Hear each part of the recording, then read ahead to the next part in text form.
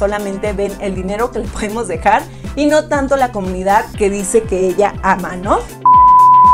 Hola, ¿qué tal a todos mis drama lovers? Bienvenidos nuevamente a este canal. Para el video del día de hoy les traigo la traducción del video de Jacqueline Hill que subió el día de ayer donde anuncia que finalmente se muda a Los Ángeles. Pero antes de esto quiero recordarles que si quieren pertenecer a esta familia de drama lovers, por favor suscríbanse a este canal porque hay videos diarios con mucho pero mucho más drama. Vamos con el logo y comencemos con el video.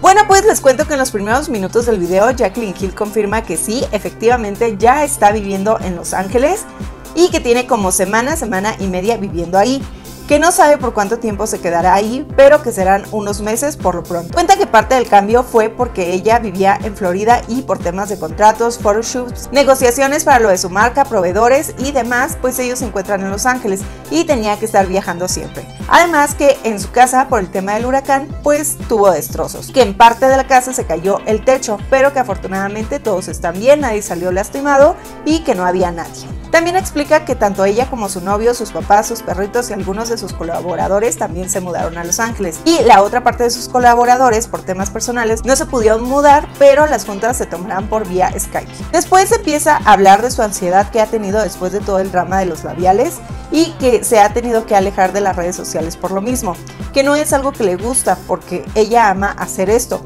pero que la ansiedad no la ha dejado y se tuvo que alejar. También habla del drama de hace unos días donde ella puso un tweet diciendo que la vida es muy difícil y la gente la empezó a atacar diciéndole que entienden que es muy difícil su situación de ser millonaria y que su única preocupación sea en las redes sociales. Ella dice que entiende que la gente lo vio como que ella estaba exagerando, pero que al final pues ella es una persona, tiene sentimientos y recibir tanto hate pues no le está haciendo bien.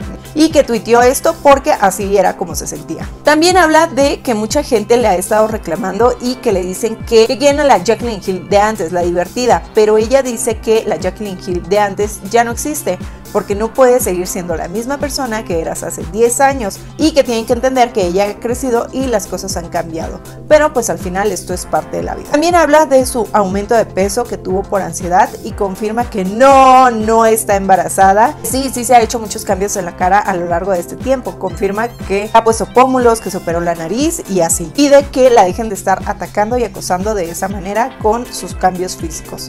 Dice que ama mucho a su comunidad y que quiere regresar, pero que eso también le causa mucha ansiedad, pero que los ama a todos. Bueno, pues esta fue la traducción del video que subió el día de ayer Jacqueline Hill a sus redes sociales después de un tiempo de estar fuera de YouTube y un poco alejada de las redes sociales por todo el hate que había tenido. La verdad es que yo no entiendo, a mí es una persona que me cae muy bien, que sabe enganchar muy bien con su comunidad, pero también tiene una muy buena base de haters y la mayoría de los haters lo que le reclaman son que siempre está diciendo mentiras, ¿no? O que dice una cosa, luego se desdice y así, ¿no? La parte en la que dice que la atacan con su cuerpo, la verdad es que me parece muy bajo que la gente te ataque por tu cuerpo, ya sea porque estás gorda, porque estás flaca, porque te pusiste pómulos. La verdad es que nunca los vas a tener contentos, eso es verdad.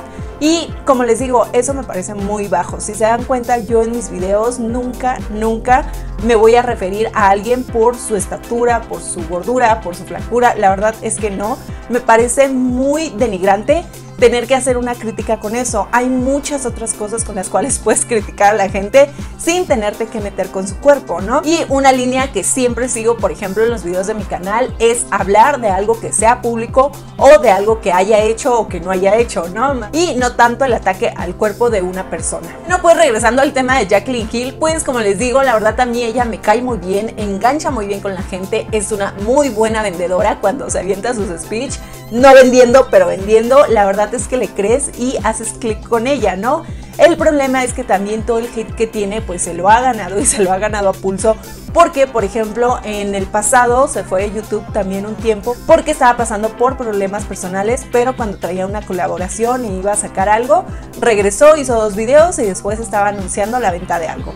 Este año hizo lo mismo, se había alejado. Después vino lo de los labiales, subió dos videos y ya estaba anunciando sus labiales. Entonces, la gente en general no le perdona eso porque sienten que solamente ven el dinero que le podemos dejar y no tanto la comunidad que dice que ella ama, ¿no? Pero bueno, como siempre les digo, esta es mi opinión. Por favor, déjenme aquí abajo en los comentarios qué es lo que opinan ustedes, si ustedes creen que las redes sociales están exagerando en torno a ella y le avientan demasiado hate o si creen que con sus acciones se lo ha ganado a pulso. Bueno, pues esto fue todo por este video. Espero que les haya gustado muchísimo y recuerden que si quieren ser parte de esta familia de Drama Lovers, por favor suscríbanse a este canal porque hay videos diarios con mucho, pero mucho más drama.